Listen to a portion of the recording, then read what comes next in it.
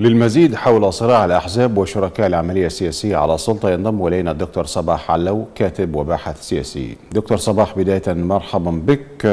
السؤال الأكثر إلحاحا مع اقتراب الموعد المحدد للانتخابات لماذا تتصاعد التصريحات المؤكدة لاستحالة إجراء الانتخابات؟ تحية لكم.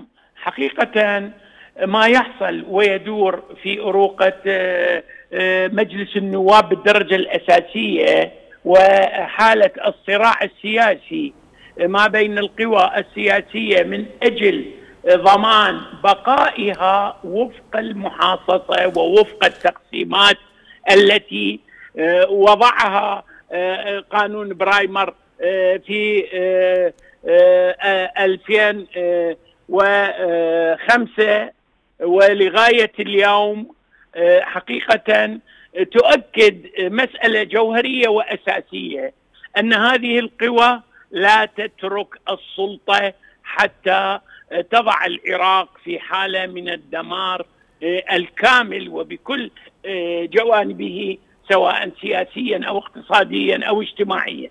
ولذلك نلاحظ أن لا يزال قانون الانتخاب رغم اعتماده قبل عدة شهور ولكن في المادة 15 والمادة 16 الخاضعتين لمسألة تحديد الدوائر الانتخابية حقيقة رغم أن القانون أكد على عملية التصويت الفردي والترشيح الفردي لمجلس لأعضاء مجلس النواب في الانتخابات القادمة التي طيب. حددت في دكتور صباح آه, آه، يعني تحت ضغط القادم. تحت ضغط التظاهرات أعلن الكاظمي عن انتخابات مبكرة. آه في الوقت نفسه هناك محاولات للدفع إلى تأجيل الانتخابات ستة أشهر أخرى. لماذا دكتور؟ آه يعني يعلن الكاظمي أو أعلن عن انتخابات مبكرة طالما هناك من يدفع لتأجيل هذه الانتخابات.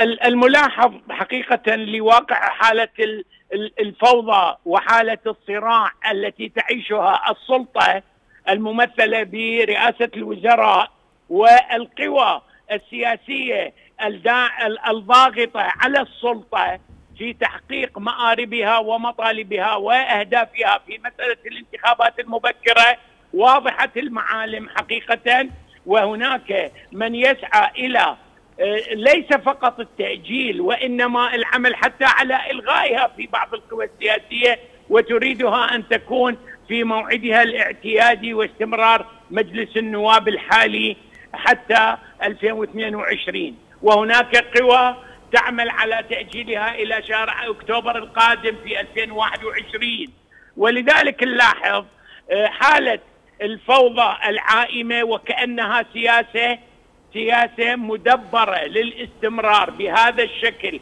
في التعاملات السياسية حول قانون الانتخاب من أجل آه، عدم عدم الوصول إلى نتيجة حقيقية والعمل على تأجيلها وقد تكون في 2022 ولذلك نلاحظ الشارع العراقي يحذر بشكل كبير جدا أنها ستزداد مساحة آه، التظاهرات والحراك الشعبي ضد القوى السياسيه التي تعمل على آه، إجهاض أي شكل من أشكال التطور السياسي في هذه النقطة البعض يتساءل. وغيرها. آه، دكتور آه، في في هذه النقطة البعض يتساءل يقول الكاظمي ربما استغل ورقة الانتخابات المبكرة والإعلان عن الانتخابات المبكرة من أجل إلهاء العراقيين وسط ضغط ثورة تشرين. إلى أي مدى ذلك صحيح؟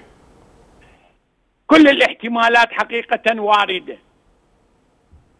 لأن الكاظمي أثبت أنه من الضعف حقيقة يحاول الهروب إلى الأمام دون أن ينظر لطبيعة الصراع بشكل الحقيقي ويتخذ الإجراءات لأن هناك خرق واضح جدا للقوى التي آه، بيدها مصدر القرارات السيادية بالأحرى. بيدها ولذلك الكاظمي يحاول آه، استمرار هكذا سياسة وصولا إلى موعد الانتخابات وقد تكون انتخابات مزورة ومشوهة. هذا الأمر يعني الكثير الكثير من آه، يناقش ويتحاور بشأن الانتخابات وكأن الانتخابات هي يعني طوق النجاة للعراق وطوق النجاة للعراقيين. حقيقة لا يمكن الاعتماد على أن تكون الانتخابات تصلنا إلى بر الأمان. والسبب في ذلك التصريحات للمستشار السياسي لرئيس الوزراء صرح بأن الانتخابات يجب أن آه، آه، تعتمد بيئة آه، خاصة وتتوفر لها كل الإمكانيات بالدرجة الأساسية الوضع الأمني. وهذا غير متوفر.